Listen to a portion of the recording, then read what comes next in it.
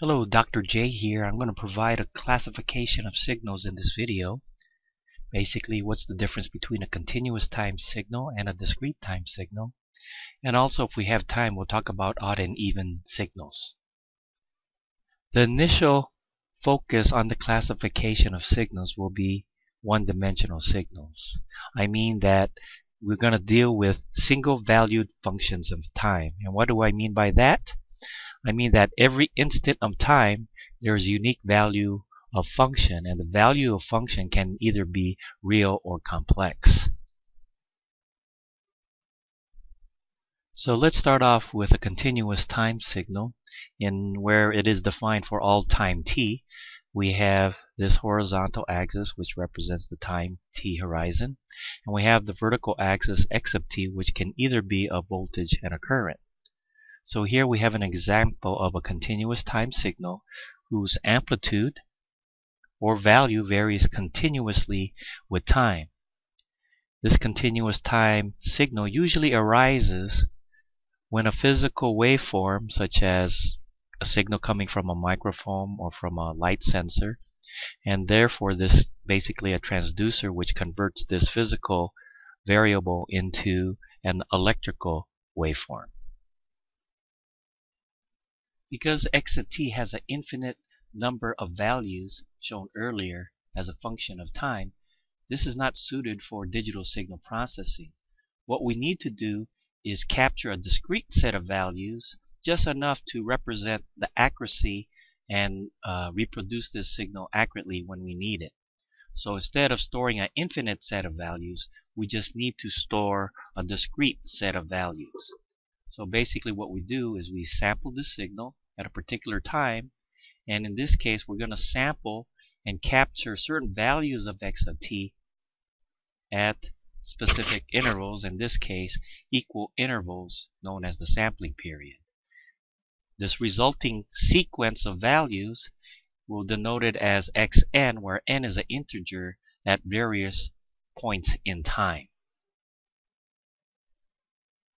Now we're going to show mathematically the relationship of the continuous time signal shown here in the dashed line and the discrete time signal where we captured specific set of values of x of t at specific values of time.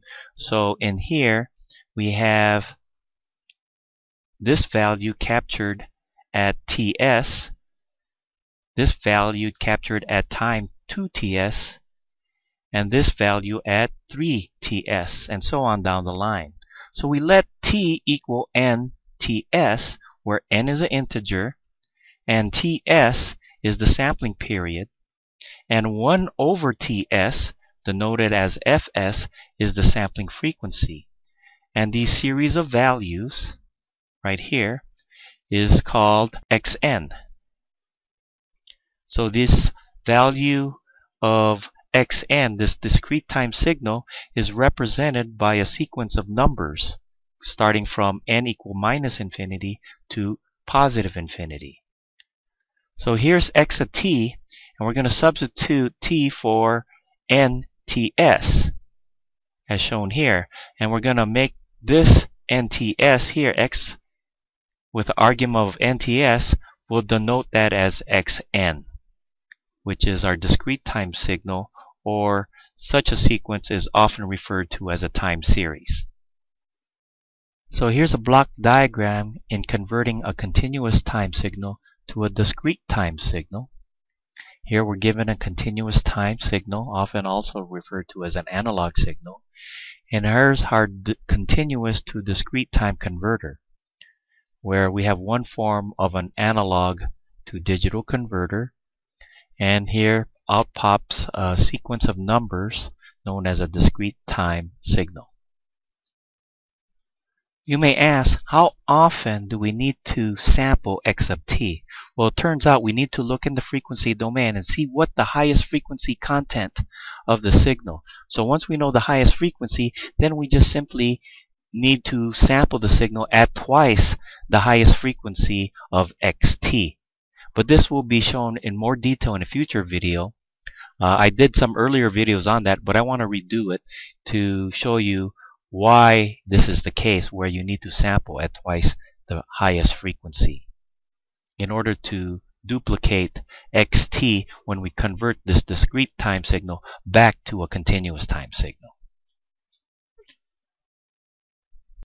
As an example, to convert a continuous time signal to a discrete time signal, consider the following example where we define x of t is equal to 5 cosine 40 pi t. 40 pi is the radian frequency, which implies that it's equal to 20 hertz because you can set 40 pi, which is equal to 2 pi f. Solving for f gives you 20 hertz. We let t equal to n cap ts, where ts is the sampling period. And that leads to a time sequence or a discrete time signal where we substitute t in as the argument or nts in the argument of t here. So that gives us 5 cosine 40 pi, substitute for t here, for n cap ts. And that gives you for when ts is equal to 0.25 or 1 over 40. So the 40s cancel out in the numerator and denominator since 0.025 is equal to 1 over 40.